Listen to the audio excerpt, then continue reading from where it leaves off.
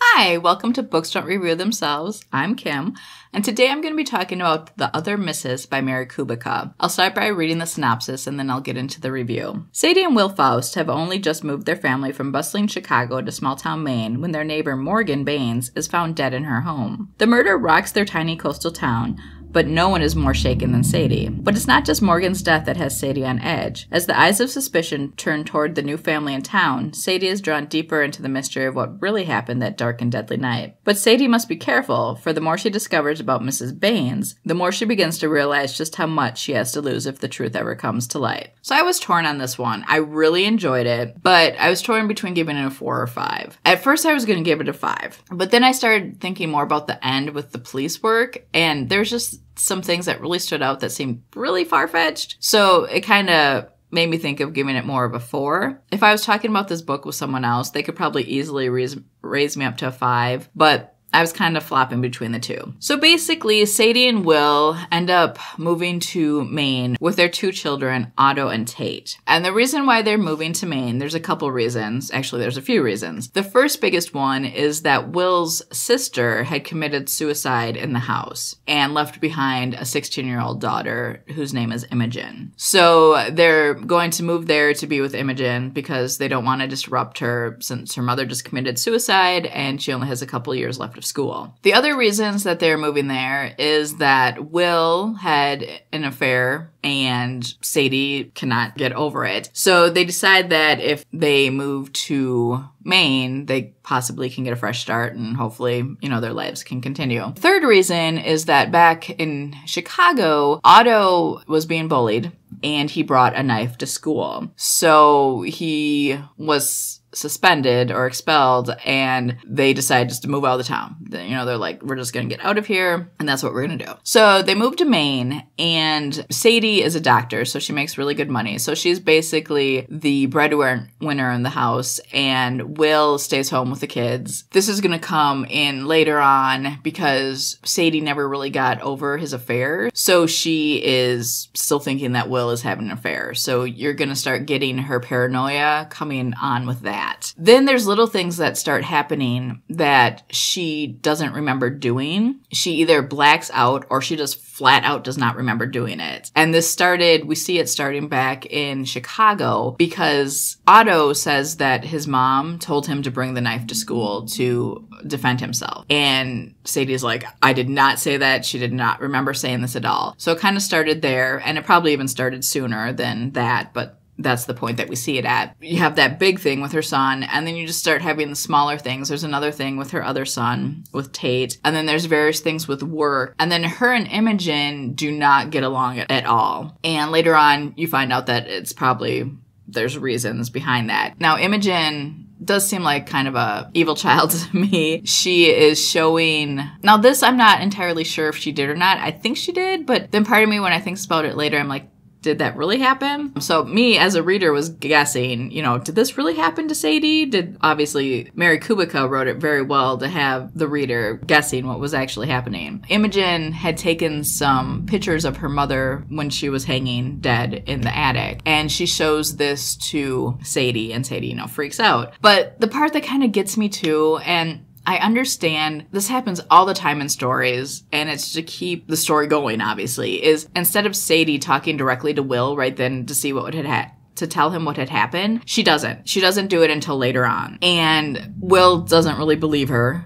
And then they go to see the pictures on the phone and the pictures are deleted. So that's my biggest thing. That's my biggest takeaway from thrillers and mysteries and suspense and horror. When you see something, say something. Say it right away. You know, and like take a picture of it so you have proof for later on. Besides all that that's going on, there's also this book is told mainly by by three people. It's told by Sadie, by Camille, and by Mouse. And then later on you get a little bit of Will at as well at the end. I think at this point I'm going to kind of stop and say cuz there's going to be some spoilers. So if you've read previous Mary Kubica books or if you know you want to read the other Mrs, then you might want to stop here. Otherwise, if you're like, I don't care, I love spoilers, or hey, I may never read this book, continue to listen. So basically, you have Sadie and you have Camille. And at first, I thought that Camille was a stalker, was stalking Sadie and wanted her life. But then for me, pretty quickly on, I realized that Camille was a personality, another personality of Sadie. So she has multiple personalities. Then you get Mouse later on. And for me at first, and I was very excited about this, I thought Mouse was Morgan's daughter. Now, Morgan is the dead woman. And I thought perhaps Mouse had also had multiple personalities, and Mouse is like six years old. So I was like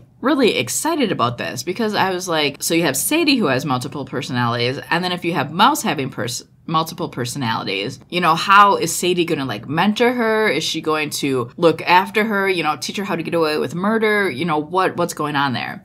So I was I was excited about that. Now it didn't happen that way and I can see why Mary Kubica didn't necessarily do it that way because there were so many layers to the story and so many things going on. I think if she would have had that too, that I think it would have been too much. But on the other hand, I still think it would have been really cool. So you have the multiple personalities going on. You have Sadie losing time, blacking out. You have weird things happening. I talked about the thing with Otto. Then she also has another thing with her son Tate where they do the statue game or the statue dance and Sadie's like has no idea what this kid is talking about. And so the kid is like I hate you mom and you know runs away and cries and so on and so forth. So you have Sadie dealing with her paranoia that her husband is having another affair dealing with the murder and then you know dealing with her two children who are like hate her because they're saying she does stuff and she doesn't remember. And then she's also dealing with Imogen, who just hates her because she's a teen and for various other reasons. You also have next door neighbors who say that they saw Sadie fighting with Morgan like the day before she was killed or the day she was killed. And once again, Sadie doesn't remember this. So you have all these factors. So Sadie starts looking into the mystery herself, into the murder, and she starts finding things out, but she's not sure about them. And there's so many other different aspects that are going on. Now, I don't want to tell you the ending because even though I gave you some spoilers, the ending is definitely worth it. Was I shocked by the ending? No. I I thought it was a very good ending though. And after the ending, then there's like a wrap up as well that tells you what's happening with the people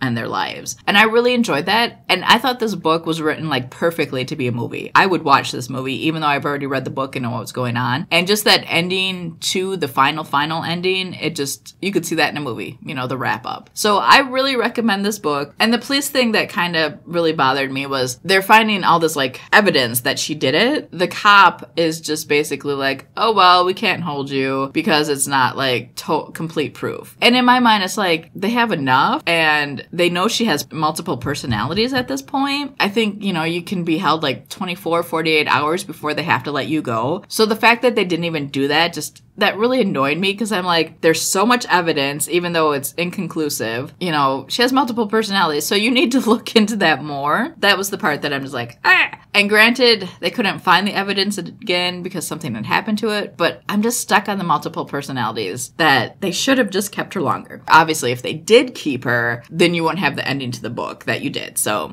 I can totally see that. But on the other hand, I was just, I was just stuck on that little point. But really, really good book. And honestly, I would love to hear what you think after you read it, or if you've read any other Mary Kubica books and recommend any of them. I will definitely be checking out more books by her. So thanks for watching or listening. Like, subscribe, hit that little bell thing so you know when we have new episodes coming. But we're going to try to stick to a Monday schedule where I'm talking about new books that are just coming out. And then on Friday, Jess and I will be talking about things that we've read, watched, listened to for the week. So hopefully you join us again and see you next time. Bye.